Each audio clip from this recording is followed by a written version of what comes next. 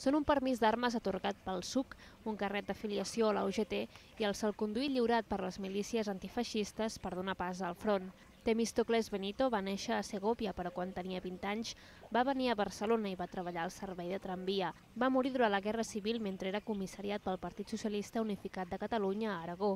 El seu net encara no havia nascut, però ara és l'hereu d'aquest petit llegat que la família va saber que tenia per un anunci a la premsa. Que el meu avi eh, era un sindicalista, bàsicament, de tramvies de Barcelona. Havia, inicialment havia sigut de la CNT, crec, posteriorment, posteriorment de la UGT.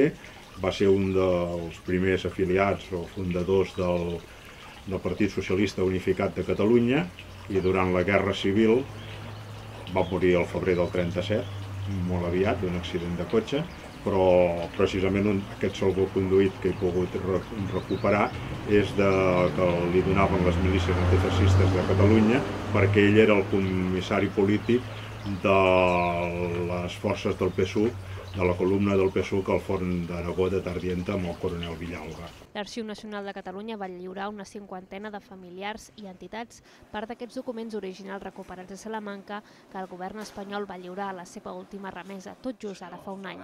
Encara queda, però, una part de la documentació per retornar a Catalunya. Encara en tenim per recuperar de papers.